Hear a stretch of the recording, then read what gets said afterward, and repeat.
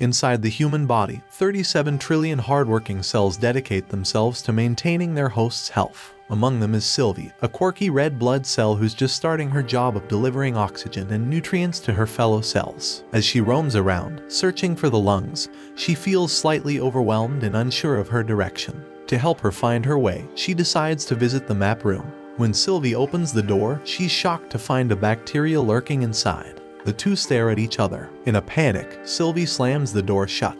But the relentless bacteria breaks through the wall, determined to kill Sylvie and feast on her nutrients. Just when all hope seems lost, Chad, a dedicated white blood cell responsible for eliminating foreign threats, rushes in to save the day. A fierce battle ensues, with Chad struggling to overcome the cunning bacteria. Taking advantage of the chaos, the bacteria flings a shell to create a smokescreen, pinning Chad down and making its escape grateful for Chad's help, accepts his proposal to guide her to the lungs. As they journey together, Chad's threat receptor begins to act strangely, signaling the presence of a virus or bacteria nearby.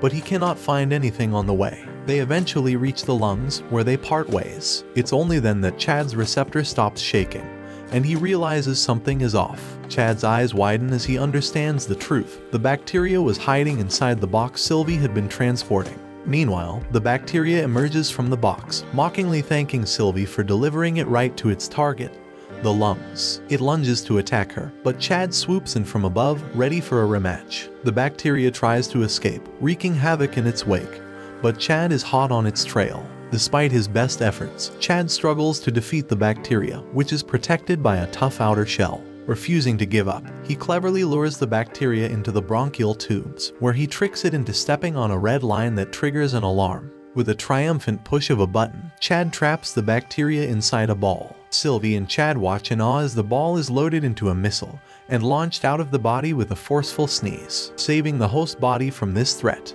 Some hours later, Sylvie finds herself lost once again as she struggles to deliver nutrients. Out of the blue, Grace, her kind and experienced senior, appears and offers to guide Sylvie to their destination. But suddenly, a rumbling throws the cells off balance, and Sylvie can't help but ask Grace what's happening. Before they can react, an explosion in the distance leaves a massive hole in the city's center. As Sylvie scrambles to her feet, she and the other blood cells are pulled towards the gaping void. Just when it seems like all hope is lost, Chad, the heroic white blood cell, swoops in and saves Sylvie. They recognize each other from a previous adventure, and Chad brings her back to safety. Desperate for answers, Sylvie asks Chad about the situation, and he reveals that they're dealing with an abrasion, a painful skin injury like a scratch. If they fall through the hole, they won't be able to return to their world. Chad assures Sylvie that the wound will be patched, but first, they must confront the germs that threaten their host. Glancing over the wall, he spots a germ about to attack and quickly pushes Sylvie and Grace to safety, narrowly avoiding a lethal strike. The germs, led by the menacing Aureus, swarm in for battle. As Chad skillfully injures one of the attacking germs, he orders the cells to run for their lives. They quickly warn the other red blood cells about the impending danger. While Grace is alerting them, two germs barge in, demanding that the red blood cells surrender their nutrients. Cornered and afraid, the red blood cells attempt to escape, but a venous valve blocks their path. One of the germs grabs a red blood cell, threatening to harm her if their demands go unmet. In the nick of time, a white blood cell slashes the germ, while two others eliminate the second attacker. Meanwhile, Chad battles four germs at once. One of them strikes him from behind, causing him to drop his dagger. Thinking fast, Chad seizes the germ's thorn arm and uses it to smash the germ's face, killing it. Chad wonders why the germs chose to fight them when they could have easily spread out. In the midst of his thoughts, Chad receives a call from a fellow white blood cell in need of help. He quickly rushes to his colleague's location, curious about the germ's plans. Upon arriving, Chad finds the white blood cell overwhelmed by the germs but manages to save him and two red blood cells. Just in time, backup white blood cells show up as Aureus, the germ leader, summons even more germs. Aureus boldly attacks the white blood cells, taunting them about her knowledge of their defenses. She disarms one white cell and wounds another before attempting to strike Chad.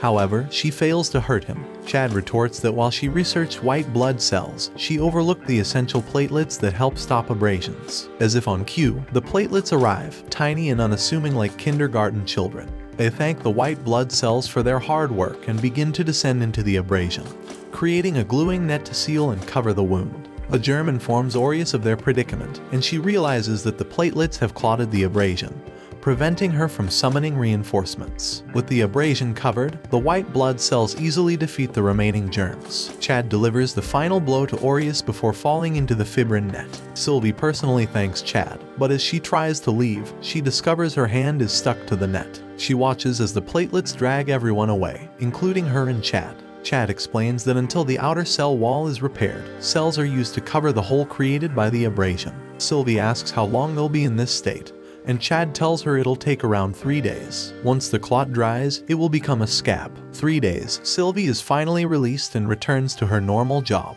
Grace meets up with her and reveals she is concerned about Sylvie's knack for attracting trouble, but Sylvie reassures her that she'll be fine. They go on their separate ways, and a germ ambushes Sylvie, demanding her oxygen supply. Trapped in a dead end, she's saved by a mysterious cell in a yellow hazmat suit that punches the germ away. The yellow guy starts beating the germ into a pulp and finishes it off with a shower before awkwardly running away. Chad, sensing an enemy comes out of the vent and notices it's already dead.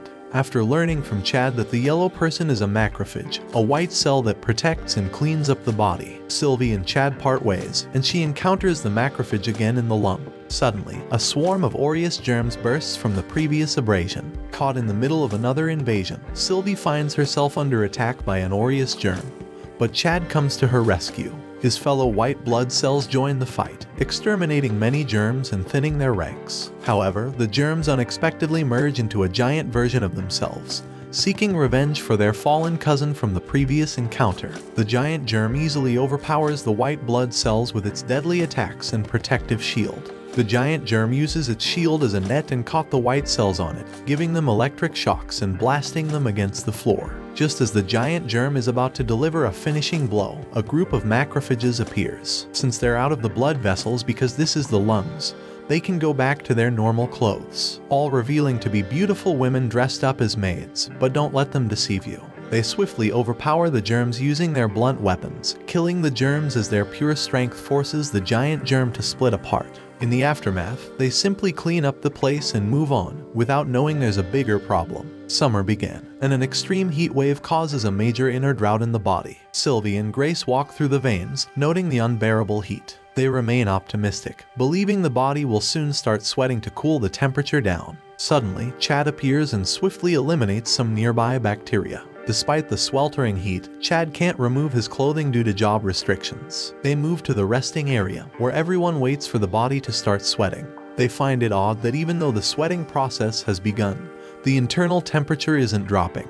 With the rising heat, the red blood cells start moving again, hoping it will help regulate the body temperature. As they travel through a dark and cramped tunnel, the body succumbs to dizziness caused by heat stroke and lack of water. A bacteria that triggers food poisoning emerges from a hole in the wall. But instead of fighting Chad, it flees to hide until the body weakens enough for it to spread. Chad chases after it, calling for backup. Two white blood cells come to his aid, but they fail to stop the bacteria. The bacteria taunts Chad while leading him on a chase until he collapses due to heat stroke. It cruelly continues taunting him, pouring tea on the ground in front of him, while explaining that if the body doesn't drink water, Chad won't be able to fight back. Chad, weak and beaten, is easily overpowered by the bacteria, who shows him parts of the city going up in flames before throwing him off a cliff. Chad manages to hold on with his knife, but the bacteria attacks him with its tendrils, proclaiming his defeat. Just as Chad's grip loosens and he falls, a needle pierces the sky and makes it rain. The doctors, noticing the host body's condition, decided to deliver a nutrient transfusion that restores nutrients to the body. The bacteria, confused by the sudden turn of events and huge flood, is horrified when Chad emerges from behind and grabs its tail. Chad brutally kills the bacteria as Sylvie, Grace, and the platelets watch from afar. With the crisis averted, Sylvie takes Chad to cool down, and the cells continue their important work. A few days later, the body returns to normal, and Sylvie is busy depositing carbon dioxide to be turned into oxygen. Grace, feeling proud of Sylvie's progress, asks her to train Lily, a rookie red blood cell. Sylvie is surprised but remembers how other blood cells nurtured her, so she accepts the responsibility. Sylvie is impressed by how calm and collected Lily is, a stark contrast to her own more chaotic approach to the job. Eager to teach Lily, Sylvie searches for her notes but ends up embarrassing herself. As she attempts to explain the basics, she realizes that Lily already knows everything, which only increases her embarrassment.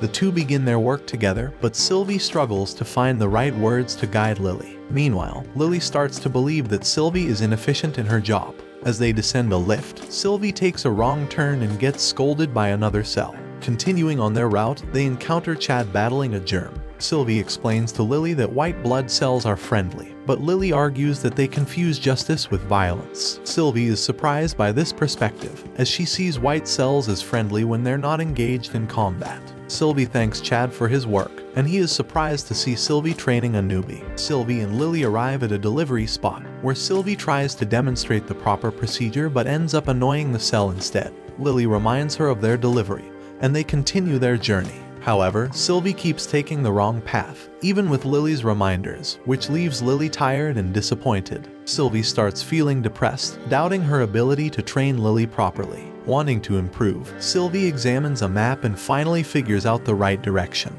But Lily remains unimpressed with her struggle to understand a simple map.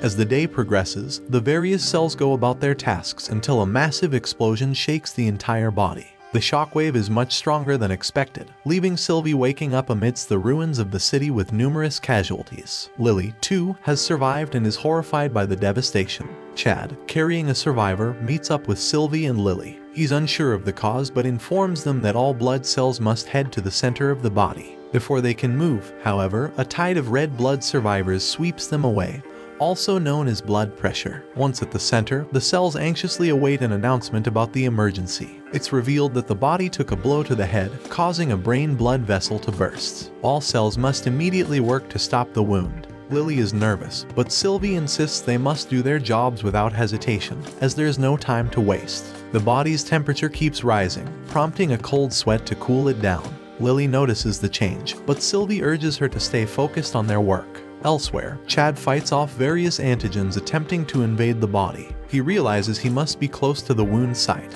but upon arriving, he is shocked to find out the body is losing too much blood as there are no red blood cells in the area. Chad searches for survivors but finds no red blood cells. Instead, he encounters a cell who informs him that the blood cells were sucked up by the wound, and there's no oxygen being delivered. This means the body will enter a cold state, causing all cells to slowly die off, and as a result also the host. Meanwhile, Sylvie and Lily arrive at the lungs, where they find a cell gasping for air. Sylvie tries to help, but Lily points out that many more cells are desperate for oxygen. They distribute oxygen to these cells and head off to collect more. As they do so, Lily also notices the absence of other red blood cells. When they return to the lungs, they find them pumping violently, with a large amount of oxygen awaiting delivery. Lily mentions there aren't enough red blood cells to carry the oxygen, but Sylvie reminds her they have a crucial task to complete, as everyone is relying on them to stay alive. The duo delivers oxygen throughout the body, helping the cells survive. When they reach the blood vessel wound, a platelet warns them not to get blown away. The wind makes Sylvie, Lily, and other blood cells uneasy. Elsewhere, tissue cells panic due to the lack of red blood cells. To compensate, they increase blood pressure, but this backfires and causes the red blood cells to fall into the wound, increasing blood loss. Scared, Lily receives encouragement from Sylvie not to look back.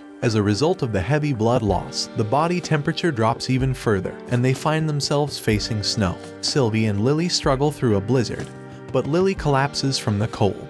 She believes the situation is hopeless and that the body will die. Sylvie, however, insists on continuing to the end because it's their job. Despite Lily's protests, Sylvie forges ahead, determined to fulfill her duty. As everyone tries to survive the harsh conditions, the relentless blizzard becomes too much for Sylvie to handle, and she collapses, feeling utterly useless. When she regains consciousness, she is astonished to find a red blood cell she has never encountered before.